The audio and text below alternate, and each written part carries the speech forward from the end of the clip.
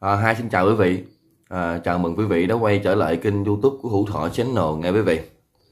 À, thì trong cái bản tin mà buổi sáng ngày hôm nay em cũng muốn lên là em chia sẻ cho quý vị một số cái thông tin à, cũng liên quan tới cái vụ việc thì của Đờ lama hoặc là liên quan tới cái vụ việc thì của cô Sô Nguyễn Phương Hằng. À, theo quý vị cũng biết thì uh, từ hổng đài thì rất là lùm xùm cái vụ việc thì uh, cô Sô Nguyễn Phương Hằng đã bị tạm giam đúng không quý vị? Nhưng trong khi đó thì ờ, có một số thành phần thì ờ, cũng rất là lên ờ, vu khống xuyên tạc cho cô Sô Nguyễn Phương Hằng. Hoặc là như một số là thành phần như là cô Hoàng Kim Dung hoặc là anh Thám Tử Cung.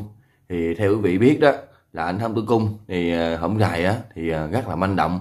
Thì đi lên á, là vu khống cho những anh em YouTube hoặc là đi vu khống cho một số người là liên quan về vấn đề Đại Nam hoặc là trợ lý của cô Sô Nguyễn Phương Hằng hoặc là chú Quỳnh Vi Dũng hoặc là công ty Đại Nam nè hoặc là cô Sô Nguyễn Phương Hằng. Thì quý vị biết cô Sô Nguyễn Phương Hằng thì đã bị tạm giam rồi. Đã không còn lên tiếng nói về vấn đề của đời drama này nữa. Đó cơ quan chức năng người ta vào cuộc người ta điều tra những cái vụ việc này rồi.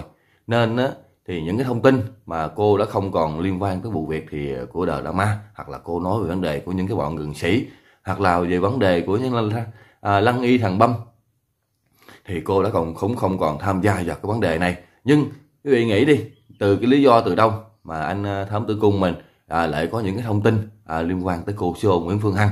Thì những cái thông tin thì chắc chắn là anh ta sẽ bịa chuyện ra rồi quý vị. À, anh ta phân tích về cô CEO Nguyễn Phương Hằng thì hiện tại thì trong trại T30 thì đang sống không tốt hoặc là bị ờ, nói chung là sống ờ, cô cô CEO Nguyễn Phương Hằng á, sống không tốt hoặc là sức khỏe cô là không ổn định.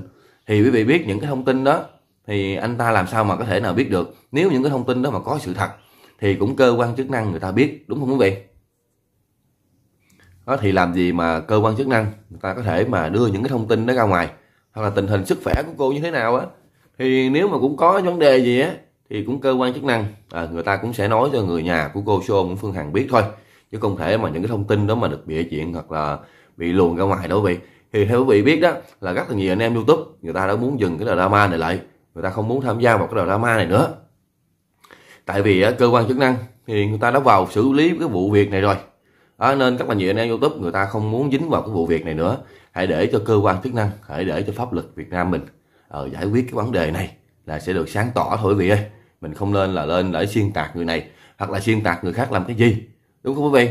Đó thì tự nhiên thì bây giờ đã không tấn công được cô Sô Nguyễn Phương Hằng thì à, anh thám tử cùng mình thì quay lại tấn công về Đại Nam hoặc là tấn công về chú Quỳnh Vi Dũng hoặc là Quỷ Hằng Hữu gì đó quý vị rất là nhiều cái thông tin. Thì anh ta nói về ờ, Đại Nam. Thì quý vị biết đó, là anh ta phân tích về Đại Nam, về những cái ngày lễ, hoặc là những cái ngày mà Đại Nam mở cửa, thì anh ta phân tích rất là nhiệt tình. Phân tích rất là tỉ mỉ, trong khi đó thì anh ta không có mặt tại hiện trường, không có mặt tại Đại Nam. Nhưng mà anh ta vẫn là phân tích được về cái vấn đề là Đại Đại Nam ít người như thế nào, hoặc là bao nhiêu người mới gọi là ít quý vị. Bao nhiêu người là ít? Mấy ngàn người mà ít thôi quý vị con số rất là lớn mấy ngàn người làm quý vị chứ không phải là nhỏ. Xe thì không có chỗ đậu. Đó, ô tô cũng không có chỗ để đậu. Đó, đậu còn phải xe còn đậu nhầm lúc á, thì ở ngoài mưa ngoài trời. Như vậy đó mà anh ta lại còn ờ, có thể nói là đại nam rất là ít người không có đông đúc như mọi khi. Thì những cái thông tin đó mà anh ta lấy được đó, thì chỉ yếu là hoàn toàn đó, là anh ta bị chuyện cái thôi. Hoặc là anh ta có thể xem được một cái clip nào. Lúc mà những anh em youtube người ta có thể quay vô cái khúc mà ít người thì anh ta sẽ soi cái khúc đó thì quý vị khán giả cũng đi đã đi tới Đại Nam rồi thì cũng đã biết về Đại Nam. Rất là đông chứ không phải là như những cái tin đồn thất thiệt. Thì bây giờ Đại Nam người ta cũng đã mở cửa là hoạt động từ ờ, thứ hai à, tới chủ nhật chỉ trừ bữa thứ ba ra là người ta khỏi không hoạt động thôi. Đó thì những cái thông tin đó thì cũng ờ, khá là vui khá là thú vị đến người dân đến những người anh em những người mà đi du lịch hoặc là nghỉ hè ở vị đó thì nói chung thì quý vị biết là cái thân phận của anh thám tư cao mình rồi thám tư cung mình đó quý vị thì à, cũng là một uh, tội phạm uh, hoặc là một đợt hưởng cái án là đã án treo rồi. Thì uh, như thế nào đó, thì anh ta vẫn là lên vu khống xuyên tạc cho rất là nhiều người. Đó. Thì không sớm thì muộn thì cơ quan chức năng thì cũng sẽ vào cuộc thì sẽ tóm cổ là anh thám tử cung này thôi. Nói chung là tám cổ được anh thám tử cung này anh sẽ cầm mõm lại. Anh sẽ bị phá mõm thì lúc đó thì những cái vụ việc liên quan tới đời ma thì chắc chắn thì sẽ dần dần mà chìm xuống. Tại vì bây giờ á do chủ ờ, cái người mà chủ yếu á, tấn công vào những cái vấn đề này thì ờ, mục đích đó thì cũng chính là anh thám tử cung mà thôi. Rồi cái thông tin thứ hai á mà em muốn lên em chia sẻ cho quý vị thì à, nói chung á cũng liên quan tới cái vụ việc của loco CEO Nguyễn Ngân Hàng thôi. Thì à, quý vị biết á là hổng gài là rất là nhiều cái vụ việc thì à, liên quan tới cái cô mà Hoàng Kim Dung mình đó quý vị. Hoàng Kim Dung mình đó quý vị. À, có rất là nhiều cái thông tin là cô sẽ đi làm từ thiện à, cô sẽ chích 100 uh, nói chung là chích 100 triệu đi làm từ thiện thì ờ, giúp đỡ cho người dân nghèo.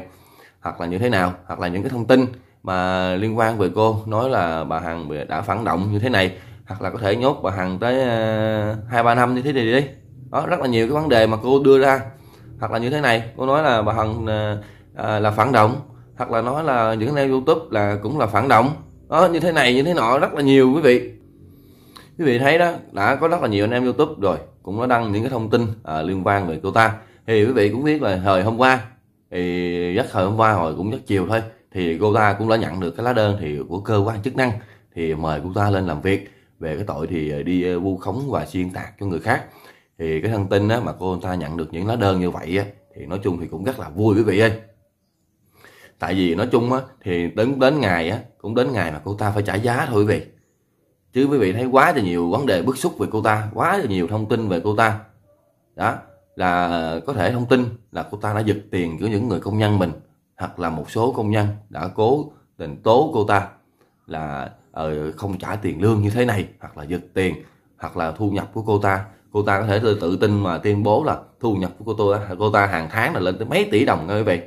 Đó, nhưng trong khi đó mà số tiền á, mà thiếu công nhân chỉ là ít ỏi nhưng cô ta lại không trả đó thì cái vấn đề đó thì cũng đã chia sẻ cho quý vị rồi. Nhưng cái thông tin á, thì nó khá là hay khá là quan trọng mà cô ta thì bắt đầu là kêu gọi từ thiện có thể là kêu gọi từ thiện để đi giúp đỡ cho những người dân nghèo. Những cái thông tin đó thì bắt đầu mới xuất hiện dần dần từ đây.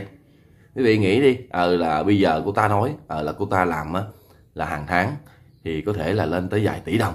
Nhưng tại sao á, thì có thể là đi làm thì mình bỏ số tiền để làm từ thiện quý vị. Nhưng á cái vấn đề là cô ta sẽ kêu gọi từ thiện để đi giúp đỡ cho những người dân nghèo. Cái đó mới gọi là cái vấn đề chính đúng không quý vị? Đó, lúc mà à, những cái bọn á, mà gần sĩ hoặc là một bọn một số nhà báo á, thì à, cũng đã kêu gọi từ thiện thì à, cũng đã kêu sao kê gì. Nhưng á, thì thật chắc á, thì kết quả sao kê thì à, cũng không như mọi người mong đợi. Tại vì cơ quan chức năng á thì người ta cũng nói là à, những anh này đã trong sạch. À, đã những người này đã trong sạch không có vấn đề gì hết thì nói chung á là những thông tin đã nói ra ngoài cơ quan chức năng đã nói như vậy rồi mình cũng không có thể nào mà nói thêm được nữa. Nhưng quý vị biết có một số á, thành phần á, như là bọn ờ, à, bọn lương bọn YouTube dơ đó quý vị. À, một số kênh thì cũng đã tạm ngưng cái đầu drama rồi. Như anh phong phân thì cũng đã tạm ngưng cái đầu drama nhưng á, cũng có việc á, là kêu gọi từ thiện lên tới hàng tỷ đồng quý vị. Đó nhưng cái số tiền á, thì thấy cũng chưa giải quyết vào đâu hoặc là chưa thấy những tính từ sao kê nhưng những cái bọn này mà nói là ở uh, những nam youtube bên đây á, mà có đi làm từ thiện á, thì cũng phải sao kê rõ ràng. Nhưng à, kết cuộc á, thì cũng không thấy vào đâu không thấy ai nói là vấn đề là sao kê đúng không quý vị? Đó. Hoặc là những uh, anh thám tử cung mình đó cũng là có kêu gọi từ thiện. Nhưng kết cuộc á, là số tiền á, là anh ta nói là anh kêu gọi thì nhưng số tiền anh ta chỉ trích ra một ít để làm làm từ thiện thôi còn cái vấn đề á, thì mình không biết được bao nhiêu tiền. Cũng đâu có thấy anh ta lên là à, công khai cái số tiền nó như thế nào hoặc là công khai cái số tiền ra sao. Mình cũng đâu có chả hiểu được cái gì đâu quý vị. Đó thì mình chỉ biết là ờ anh ta có kêu gọi nhưng mà chẳng thấy anh ta sao kê sao xéo gì. Đó trong khi đó thì anh ta lại bắt bẻ những anh em youtube bỏ tiền túi mình ra đi làm youtube bỏ tiền túi mình ra để giúp đỡ những người dân nghèo. Hoặc là anh em ta bỏ những cái công sức của mình hoặc là bỏ những số tiền mình đã tự dành dụm hoặc là như thế nào. Người ta đi giúp đỡ những bà con nghèo. Đó mà anh ta lại bắt những anh em sao kê là anh em phải sao kê gì vấn đề gì quý vị? Bỏ tiền túi cũng phải bị sao kê luôn hả quý vị? Hả? Nghe rất là nực cười. Đó thì cái thông tin mà liên quan tới những cái vụ việc thì của cô Sô Ngân Hàng thì trong buổi sáng ngày hôm nay em cũng muốn lên là em chia sẻ cho quý vị thì cũng bấy nhiêu thôi. À, thì nãy giờ là những cái thông tin thì em đưa lên cho quý vị nhằm mục đích là cho quý vị tham khảo. Em cũng không có nhận định là người nào đúng hoặc là người nào sai đâu quý vị. Tại vì á thì cái sự việc như thế nào mình cũng sẽ chờ cơ quan chức năng vào giải quyết cái vụ việc chứ mình không muốn khẳng định là người nào đúng hoặc là người nào sai. Và thôi thì bây giờ em cũng là xin kết thúc video tại đây. Thì quý vị thì có xem kênh á thì cũng nhớ là đăng ký kênh và ủng hộ kênh của em nghe quý vị. À, kênh của em là kênh hữu thọ channel. À, nói chung kênh của em nó mắc đề xuất rất là nhiều nên bây giờ em làm clip á thì cũng rất ít anh chị biết tới em. Thì quý vị thì à, à có thương em á thì có xem kênh thì cũng nhớ đăng ký kênh và cho em một like luôn nha quý vị để cho kênh của em nó phát triển hơn quý vị. À, để em còn động lực mà em làm những cái video hay hơn cho quý vị xem. Và thôi thì bây giờ em cũng xin kết thúc video tại đây. Em xin chào quý vị và hẹn gặp lại quý vị trong các bản tin tiếp theo ạ. À. em xin chào với ba quý vị. Chào quý vị.